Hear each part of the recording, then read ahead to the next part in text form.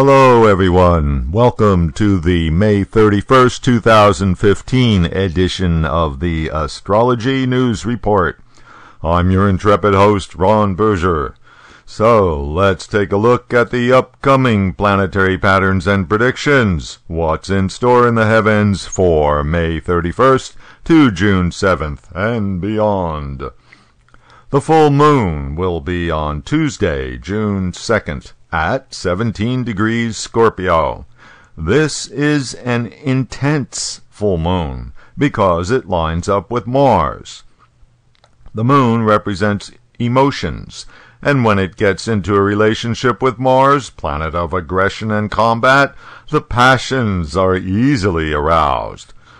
Meanwhile, the planet of rational thinking, Mercury, is still retrograde, in other words, irrational, so the passions will be even less susceptible to reason. Last week, I talked about the Venus Jupiter conjunction, which is now in force. Both of these planets are classed as natural benefics, in other words, representing the kind of energies that make life worth living. Having Venus together with Jupiter will put a lot of positive energy all in one sign of the zodiac. This will, of course, have consequences for everybody. So now I will go through the zodiac and explain how this new energy pattern affects each of the 12 rising signs. What to expect in your case. You can also apply this analysis to your sun sign, but it has to be the position of your natal sun in the sidereal zodiac, which, to remind everyone, is 24 degrees behind the western tropical zodiac. Starting out with Aries rising, the Venus Jupiter combination will be in your fourth house, an important sector of the chart signifying comforts and stability and life in the home. Since the Jupiter Venus combination encourages social interaction, this planetary pattern is beneficial for hospitality in the home, so throw a party. Your relationship with your mother also improves. This could also be a good time for redecorating since Jupiter indicates improvement and Venus is the planet of aesthetics. If you are Taurus rising, the Venus Jupiter combination will be in your third house, where it helps with third house interactions, relationship with your younger sibling, close relatives, and your neighbors. Jupiter plus Venus can be too much of a good thing which in the third house of desires and daily actions can lead to indulging your desires to excess. So, beware of that, especially for the materially inclined Taurus people. Venus and Jupiter will be in the second house for Gemini rising folks. The second house is family, and two benefics transiting here do much to improve relationships with family members. The second house is personal finances, Jupiter is increase, and Venus is money. So, this looks good for improving the cash flow. But the second house is also materiality and ownership, and with the indulgent combination of Jupiter and Venus, you will be inclined to spend the money as fast as it comes in. For Cancer rising people, the Venus Jupiter combo will be in your ascendant. The first house of self, Jupiter brings opportunities. Venus is the planet of love and relationship. So, this is a great combination for bringing more people and possibly a love interest into your life. But, again, there can be a downside. This being the house of self, Venus, the planet of love, means self-love, and Jupiter, as the planet of increase, just exacerbates the situation. If you have a Leo rising chart, Venus will be with Jupiter in your 12th house, the house of dreams and the subconscious. Two benefics transiting here brings sweet dreams. But the twelfth house is also the house of loss and expenditure, and with the two financial planets in this sector, there can be unanticipated loss, or, in the case of Venus with Jupiter, a secret indulgence that results in excessive expenditure. A more positive manifestation would be a large contribution to your favorite charity. Venus will be with Jupiter in the 11th house for Virgo rising charts. Natural benefics are always welcome in the 11th house of gains and rewards. This transit indicates an increase in profits.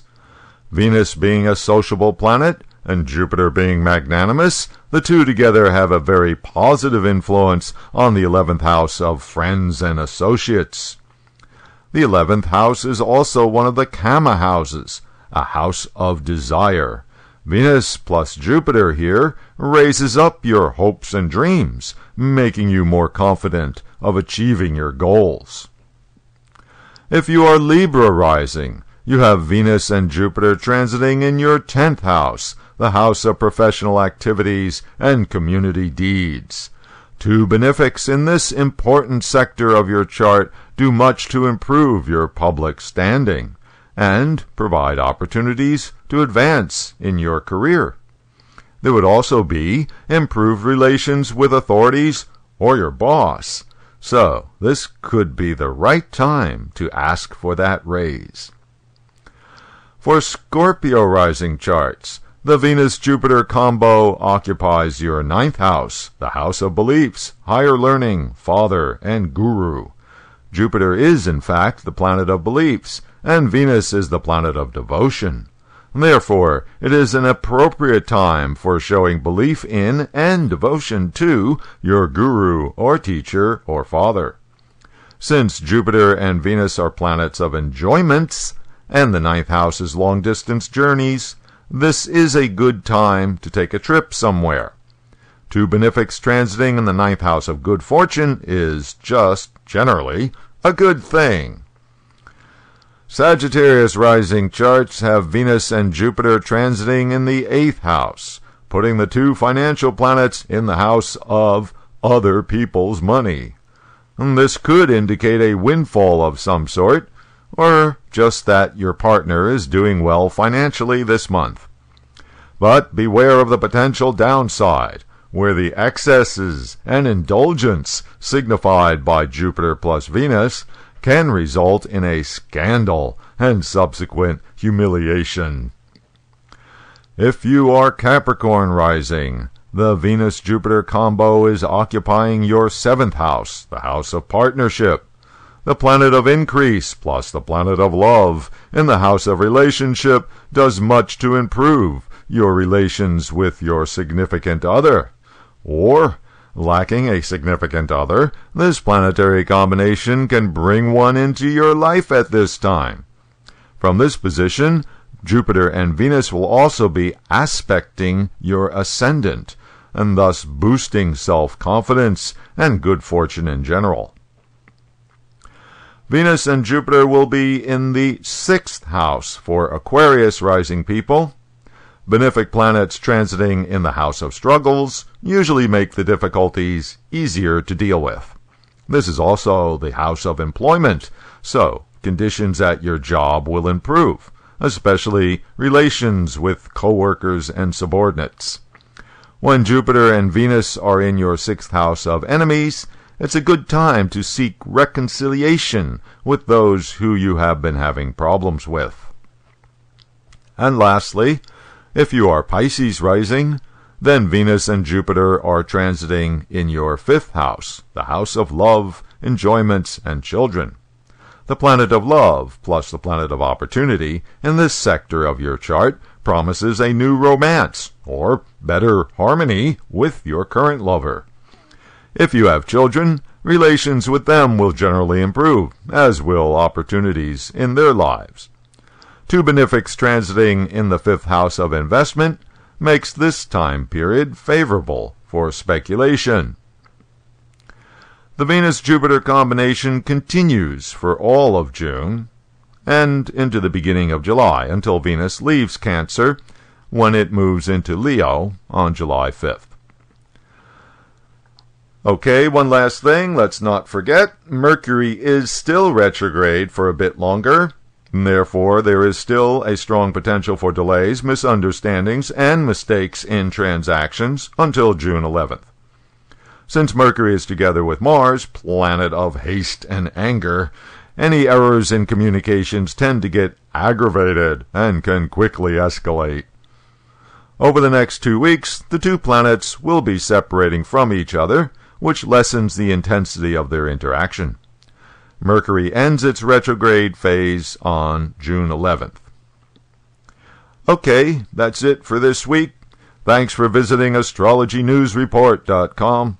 I'll be posting updates and reminders during the week on Twitter at Astro News Report.